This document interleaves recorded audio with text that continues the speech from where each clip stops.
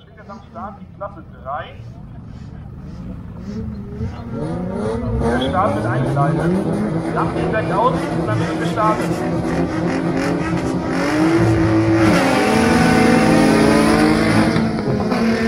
Guter Start von den beiden Audi Quattro. Da gehen sie alle ziemlich schnell unten in die Kurve.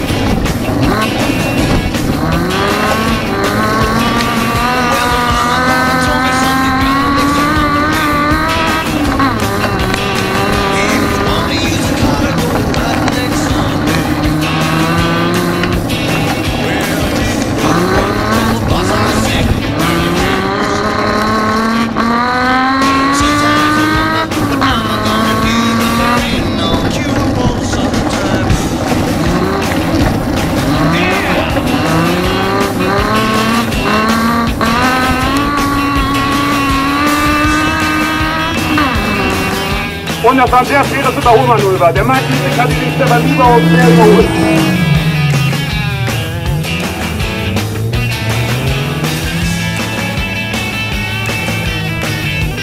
Rückaufbewegung, dort, wenn